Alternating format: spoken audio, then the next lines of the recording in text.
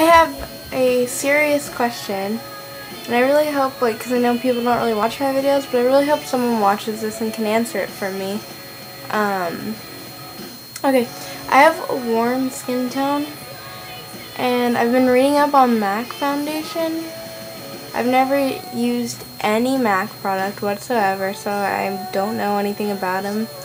Um, but I have a warm skin tone, and I was reading that um, MAC for warm tones uses a pink, and for cool tones they use a yellow, and usually that makes your skin look really bad. But most people tend to like look really good with MAC foundation on. And the question isn't so much like what kind I would need, but it's why. Like, how does it work like that? If any, I'm just curious. I probably won't even buy a MAC foundation because MAC's really expensive. But, oh, I guess so is Too Faced, but um, I don't really use foundation anyways that much. God damn it. Sorry. Um, but I was just really curious as to how that works, so I hope someone can tell me that. But that now onto the review. um, Alright. So um, what I've heard about the Too Faced Galaxy Glam shadows is a little bit mixed, mainly positive, but a little mixed. Um, and I wanted to add my input. This is Moonbeam. This is the one with the greens in it. So it's like a, when you put it on, it's like a black with green shimmer. I don't know, it's like a, it's a black base green.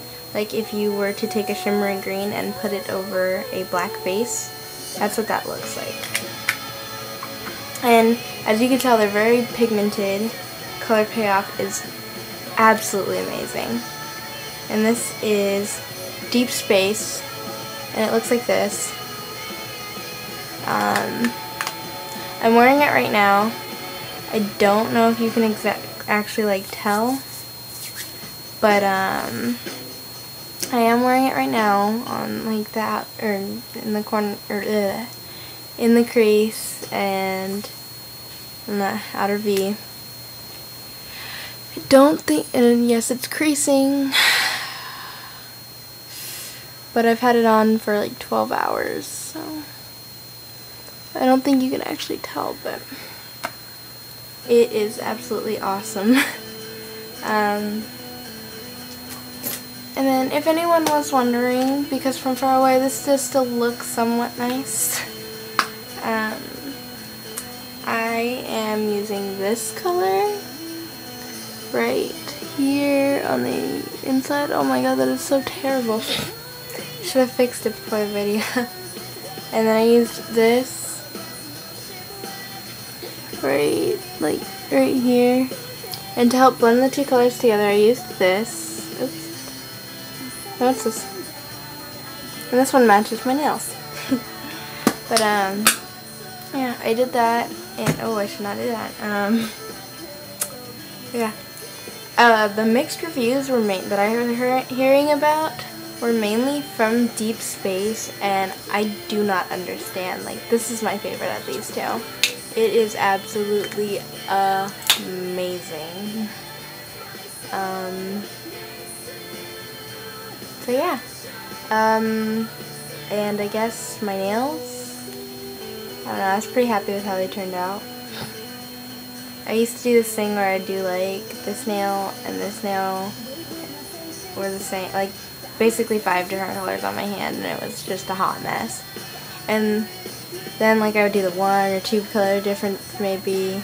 And it still, I thought it was a hot mess. But I guess the new trend is to do like one nail different. So I decided to do like, like this. And I don't know. I like it. Um, the blue, green, the teal, I don't know if it's, it's more of a turquoise. So the turquoise is this color. It doesn't have a color name. It's from Hot Topic and I think it was like $2 maybe. And then the purple that looks kind of black is Sally Hansen's Insta-Dri Fast Dry Nail Color in 370 up-tempo plum. And it looks like this. Like, it looks really pretty. But on your nails, it kind of just looks plain. Like, you can see, you can tell more in my nail bed that it's purple. Like, back, like right here.